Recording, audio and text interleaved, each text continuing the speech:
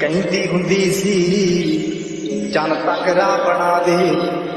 ਤਾਰੇ ਨੇ ਪਸੰਦ ਮੈਨੂੰ ਹੇਠਾਂ ਸਹਾਰੇ ਲਾ ਦੇ।